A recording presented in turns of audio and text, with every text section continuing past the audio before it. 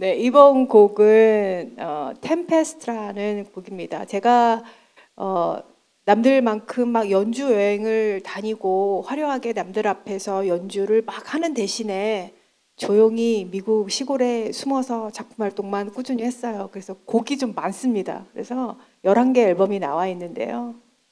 그 중에 어, 묻힌 곡이에요.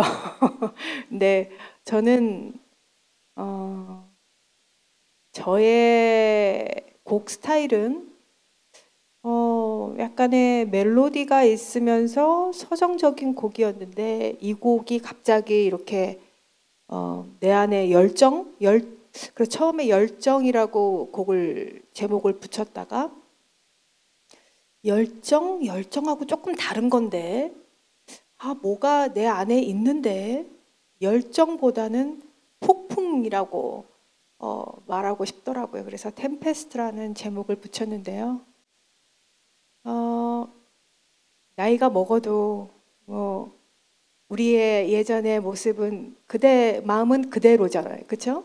저희 95세가 가까우신 저희 어머님이 그러시더라고요. 시어머님이 이걸 어떡하냐. 내가 나이가 95세인데 100세를 바라보는데 마음은 20살 때하고 똑같다. 이거 이게 큰일 아니냐. 마음은 이렇게 늙지 않으니 이게 큰일 아니냐. 이렇게 철학적인 얘기를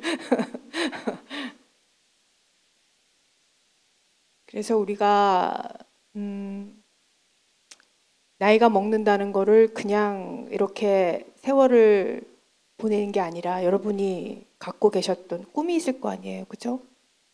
글을 쓰고 싶었고 한때는 그림을 그리고 싶었고 네. 그걸 그냥 하는 거예요. 네. 책을 내야 작, 가가 아니잖아요. 글을 써야, 써야 작가죠. 그냥 쓰는 겁니다. 네, 저도 그냥 제가 연주하고 싶은 대로 연주하는 거예요. 여러분도 그거를 아, 예전에 나, 내가 꿈이 이거였지라고 아쉬워하시지 마시고요. 해보는 거예요. 네, 여행을 여행 작가를 꿈꾸셨으면 집 앞에부터 여행을 해보는 거예요. 사진 작가를 꿈꾸셨다면 핸드폰을 꺼내서 남들이 보지 못한 들풀들을 잡초들을 찍어 보는 거예요. 네, 글을 써 보는 거예요.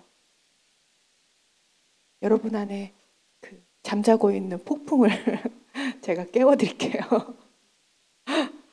네, 템페스트 일부 공연 마지막 곡입니다.